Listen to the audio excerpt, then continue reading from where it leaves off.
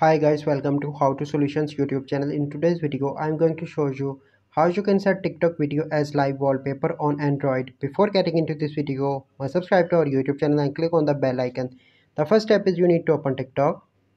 Once you open tiktok you simply need to click on profile in the right bottom corner and then you need to select any video. So i'm going to select this video and let me select a video this one. And then you need to click on three dots on the right side and scroll down and click on set as wallpaper and then you need to click on install and you need to install that application. So i'm going to install that application.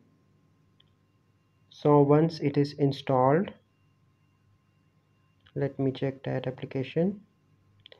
Click on open and then you need to click on open tiktok to set wallpaper and you can find two videos select anyone and now it is downloading. And in the bottom you will find the option of set as wallpaper. Click on that.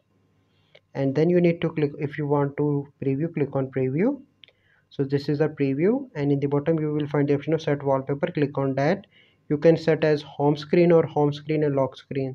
You can choose according to your choice. Once you click on home screen it will be shown here. So by following these steps you can easily set tiktok video as live wallpaper on android. I hope you find this video helpful. If you find this video helpful must like this video subscribe to our youtube channel for future videos. We'll see you in the next video. Thank you. Have a good day